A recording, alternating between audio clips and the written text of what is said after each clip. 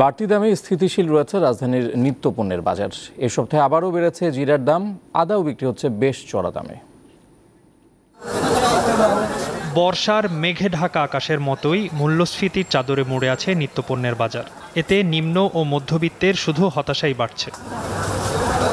এ সপ্তাহে আবারও বেড়েছে জিরার দাম। কারওয়ান বাজারে এক সপ্তাহের ব্যবধানে কেজি প্রতি দাম বেড়েছে প্রায় একশো টাকা। এলাচ মানভেদে এক হাজার ছশো থেকে দু হাজার টাকায় বিক্রি হচ্ছে। জিরা গত সপ্তাহে ছিল সাতশো পঞ্চাশ টাকা এখন আটশোশো পঞ্চাশ টাকা। দারচিনি গত সপ্তাহে যে দাম ছিল এই সপ্তাহে এই দামে আছে। ঠিক আছে চারশো চল্লিশ টাকা।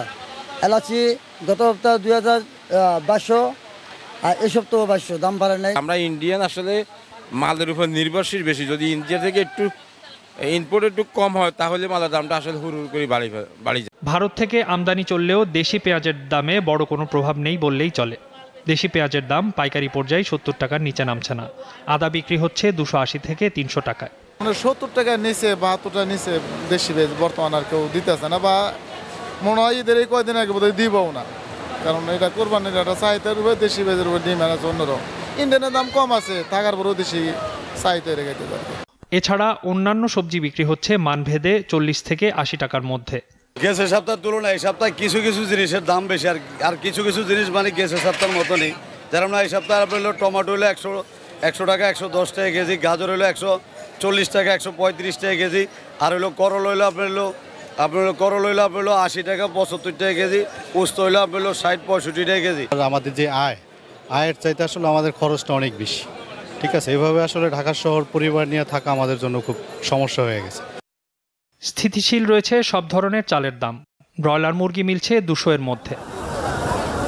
কাবির হাসনাইন, দীপ্ত সংবাদ, ঢাকা।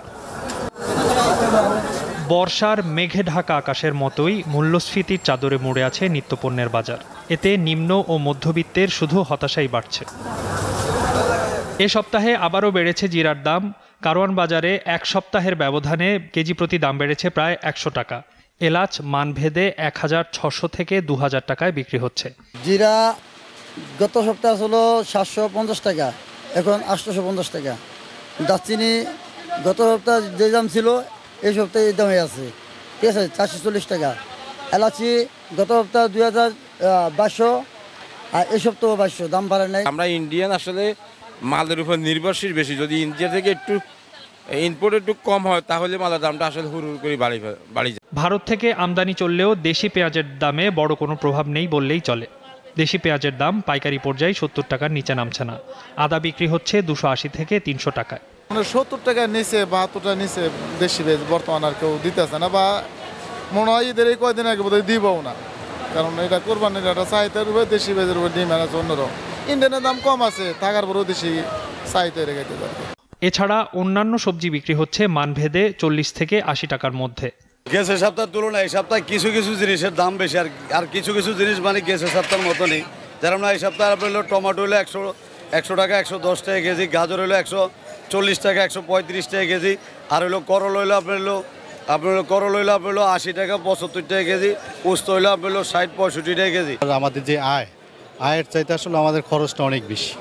ঠিক আছে, এভাবে আসলে ঢাকা শহর পরিবার নিয়ে থাকা আমাদের জন্য খুব সমস্যা হয়ে গেছে। স্থিতিশীল রয়েছে সব ধরনের চালের দাম। ব্রয়লার মুরগি মিলছে দুশো এর মধ্যে।